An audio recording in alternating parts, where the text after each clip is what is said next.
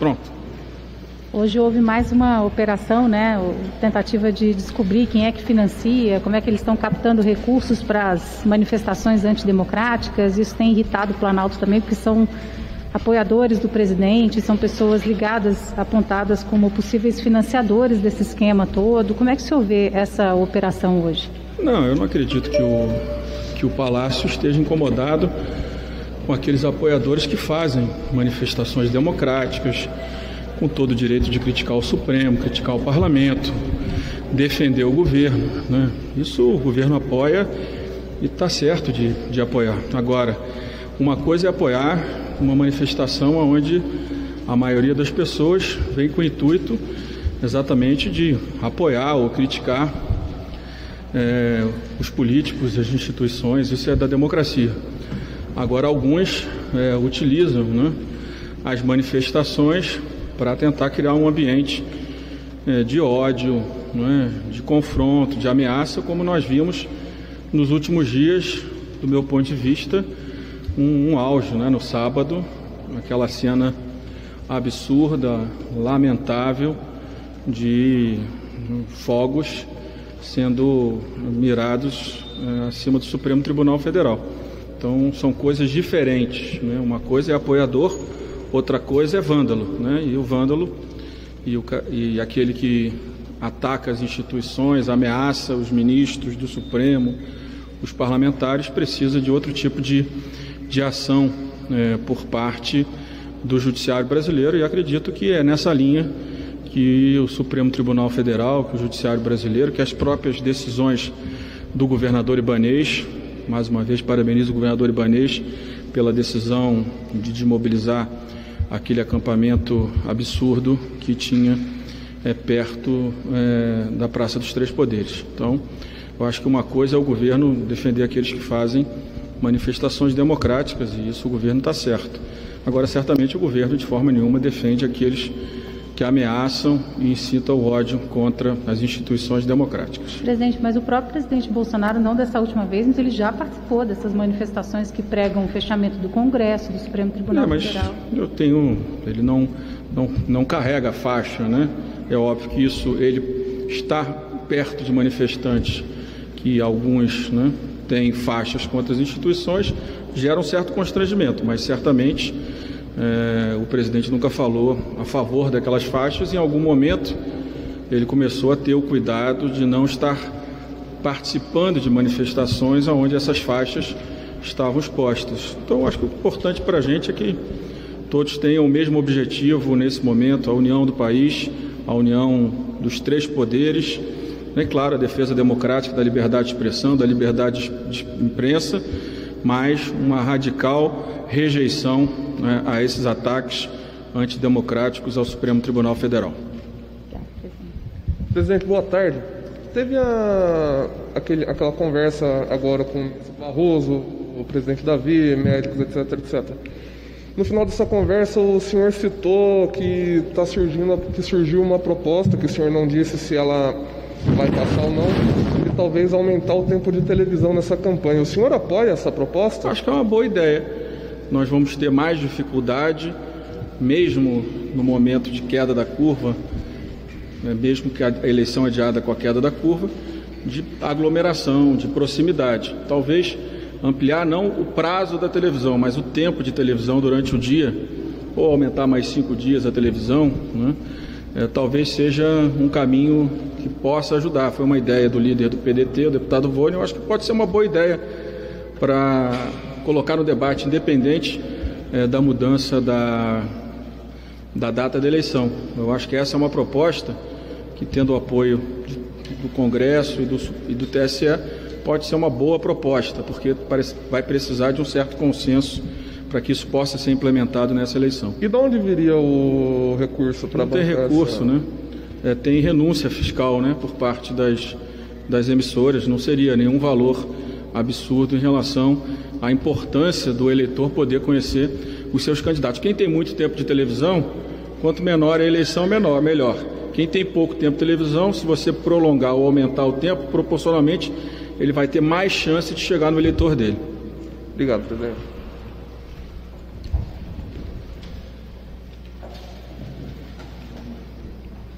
Tudo bem, presidente Luciana Amaral do UOL. É, o senhor já comentou várias vezes na formação de um grupo, né, de um colegiado, justamente para analisar o adiamento das eleições. Mas eu gostaria de saber se já tem algum passo a mais, algum passo concreto Não. a partir dessa reunião com Barroso, com o presidente Alcolumbre. Não, agora acho que os líderes participaram da reunião, ouviram as, as opiniões de médicos e cientistas e agora o presidente Davi vai coordenar esses trabalhos junto aos partidos no Senado e junto com, conosco na Câmara, para que a gente possa iniciar a discussão, pode ser pelo Senado, não vejo problema, é a Casa da Federação, para que se possa ter uma decisão nas próximas semanas. É claro que cada um tem uma opinião sobre esse assunto, mas eu acho que tem uma, uma opinião que é consenso de todos. Precisa de uma solução rápida em relação a esse tema. Certo. E o senhor elogiou o governador Ibanês pelo desmonte né, do acampamento. Isso. E ele fechou a esplanada dos ministérios no domingo e fechou novamente hoje e amanhã, justamente por causa de mais ameaças. Como é que o senhor considera esse fechamento? Eu acho é que qualquer, qualquer fechamento, mesmo necessário, é muito ruim. Né? Então, o que nós precisamos é garantir, através é, da Polícia do Distrito Federal, que é de muita qualidade, as condições, né, a segurança de todos aqueles que transitam pela esplanada dos ministérios. Né? Mas se ele tomou a decisão, ele tem informações e está decidindo baseado em informações que ele tem e eu não tenho em relação à decisão de hoje. A decisão de domingo pareceu sensata do meu ponto de vista. Mas de hoje amanhã pode ter sido exagerado, então, essa não, medida? Eu estou dizendo que ele tem informações que eu não tenho, então eu não posso avaliar.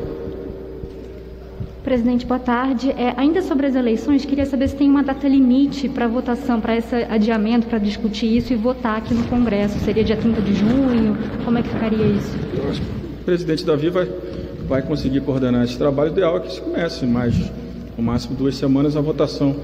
Como é o sistema remoto, é um sistema mais rápido.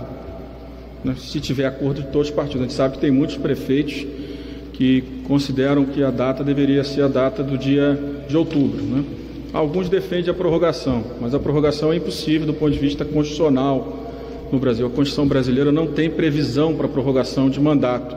Se nós não conseguirmos realizar a eleição esse ano, nós teremos que, respeitada a lei orgânica de cada município, avaliar em cada lei orgânica quem é o indicado. No caso do Rio de Janeiro, é o presidente do TCM. Ele assumiria a cidade do Rio a partir de 1 de janeiro se as eleições não fossem realizadas, porque não passa pela minha cabeça votar nenhuma PEC de prorrogação. Então, alguns defendem a data de outubro, porque acreditam que a situação não vai estar muito diferente de novembro ou dezembro, então que é melhor, com os protocolos necessários, realizar a, a eleição. Os médicos consideram que não, que é melhor novembro ou dezembro. Eu convivo com a ideia dos médicos, mas aqui você vai precisar de três quintos de votos no Senado e depois na Câmara para autorizar a prorroga, a, o adiamento da data da eleição para o mês de novembro, para o, mês, para o início do mês de dezembro. Mas não ficou decidido uma data para se votar a PEC não, nas duas o, casas? O que o TSE considera relevante para, para que ele possa organizar melhor as eleições é que elas fiquem entre o dia 15 de novembro e 20 de dezembro, o segundo turno. Né? Que tem propostas 15 de novembro, 6 de dezembro, segundo turno, e tem propostas primeiro turno 6 de dezembro e 20 de dezembro. Eu, mais uma vez, convive com a, com a ideia daqueles que preferem 15 e 6. Mas essa é uma decisão que cabe ao plenário do Senado e depois da Câmara dos Deputados. Perfeito. E votação aqui hoje, como é que está a pauta? As MPs a, vão a, a medida provisória 932, a 927, e se tiver acordo, o projeto do futebol, que já está pronto o texto desde a semana passada. E assim que os relatórios das outras medidas provisórias tem a 925, pode votar amanhã, que ela é simples e tem alguns projetos de lei que têm urgência. Vamos ver se os relatores já apresentaram o relatório hoje para que 24 horas depois, amanhã, a gente possa colocar as outras matérias com urgência na pauta da Câmara. Obrigada. Presidente, boa tarde. É, o senhor falou hoje de permitir que os chineses participem do leilão do 5G. É, a Câmara tem algum poder de decisão sobre isso? Pode aprovar algum projeto para tornar a concorrência maior ou seria mais não, acho que é uma, agência, é uma decisão da agência, né? nem do governo deveria ser. Uhum. Eu espero que o Brasil tenha uma concorrência com o maior número possível de participantes para que a gente garanta qualidade e preço. Né? Nós temos um risco grande se a concorrência não for ampla do custo de implementação do 5G no Brasil e esse custo transferido para o cidadão ser um custo muito alto e um atraso né, na, na, implementação de uma nova tecnologia né, que certamente vai ser implementada em outros países de forma mais célere. Mas teria alguma coisa que o Congresso poderia. Não, eu dei minha opinião. opinião. Eu acho que nós estamos. Nós temos um governo que tem uma visão na economia liberal. E uma visão liberal, ela tende a trabalhar sempre pela garantia da maior concorrência. Certamente deve ser assim que pensa a equipe econômica do governo, né? Tirando esse embate ideológico que eu acho que não é produtivo, né? É, entre parte do governo e o, e o embaixador chinês e, o, e a China e o Brasil, que eu acho que isso atrapalha o Brasil não apenas nesse leilão, mas atrapalha, pode atrapalhar em outras áreas, principalmente no agronegócio. É, o senhor falou também de refis, já começou a se discutir, já tem projetos para refis, mas. Eu já disse que semana passada nós queremos discutir com a reforma tributária. Eu tenho dito desde o ano passado que a reforma previdenciária e a reforma administrativa são sacrifícios necessários feitos pelo servidor público e pelo trabalhador brasileiro. A reforma tributária, que sem aumento da carga tributária, mas alguma transferência de carga tributária entre os modelos principalmente no caso de bens e serviços e na renda, é, esse sacrifício, esse apoio, nós precisamos do setor privado brasileiro. Porque não adianta caminhar para uma reforma administrativa sem compreender que o grande, a grande alavanca do desenvolvimento de qualquer país é a competitividade das nossas empresas. Uma economia mais aberta que a nossa e competitividade. E essa competitividade tem dois eixos fundamentais: investimento em infraestrutura, então lei do saneamento, lei nova lei de concessões, entre outras leis, e um novo sistema tributário mais simples, com menos insegurança jurídica. Lembrando que nós temos 1 trilhão e 500 bilhões de reais em litígios tributários no Supremo Tribunal Federal, mostra que o nosso sistema tributário ele gera insegurança para o investidor, para o empresário brasileiro. Fora isso, também a discussão da renda. Será que o sistema, né, a tributação da renda, ela tributa de forma é, correta e justa todas as camadas da sociedade brasileira? Lembrando que nós tributamos mais consumo do que renda, o que em tese significa que nós tributamos menos a cúpula, da, a, a elite da sociedade do que proporcionalmente nós tributamos a base da sociedade brasileira. Por isso que eu acredito que, que é importante avançar nessas matérias. Obrigado. Presidente, com relação à ampliação do benefício emergencial, existe algum avanço na discussão com os líderes sobre de que forma isso vai ser conversado na Câmara, a possibilidade dessa, Não, desse é aumento? o que o governo encaminha a sua proposta. Eu conversei com alguns técnicos do governo semana passada. Nós ainda temos algumas, outro, ontem saiu no jornal de Goiás, não, a, o cadastro de pessoas que em tese não deveriam ter tido acesso ao benefício, você ainda pode ter uma, vamos dizer, uma melhora desse cadastro, um filtro desse cadastro, mas o que a gente espera é que o governo encaminhe a sua proposta, sabendo que na Câmara nós vamos ter toda a liberdade para avaliar o que o governo encaminhar, mantendo ou mudando a proposta do governo. E ainda sobre adiamento de eleições, presidente, é, o senhor acha que serão pensadas alternativas para dois aspectos específicos, porque a, a eleição ela, ela é, um, é um momento de contato entre as pessoas, né? Tem a biometria, tem a troca de documentos ali no, no momento em que o eleitor conversa com o mesário. O senhor acha que podem ser pensadas alternativas é TSE, com relação né? a isso? Isso é o TSE. Tem que perguntar ao presidente Barroso. Essa atribuição e responsabilidade é dele. Eu sei que ele está preocupado e tratando é, exatamente da, da segurança e da saúde dos brasileiros na hora da votação. Obrigado.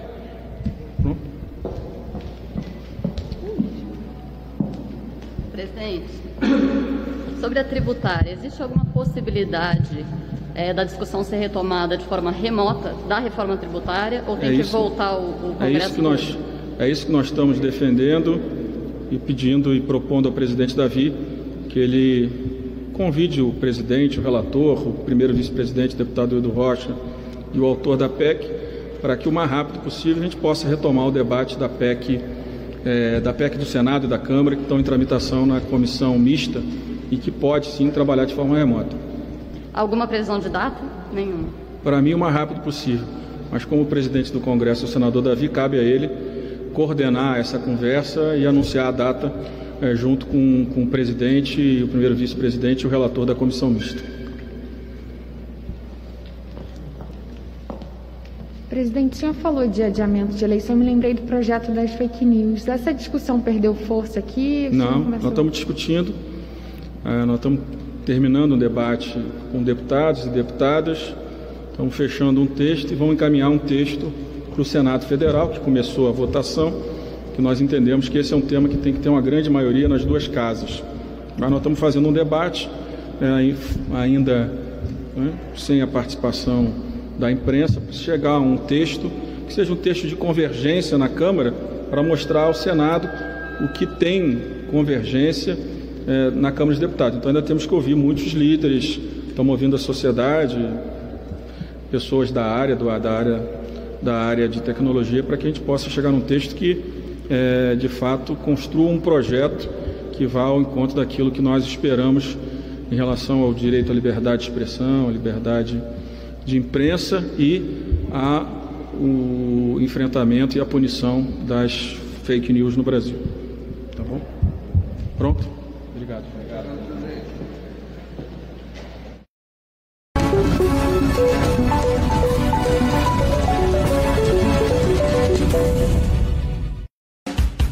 Aqui na Câmara dos Deputados, 513 vozes que você elegeu mostram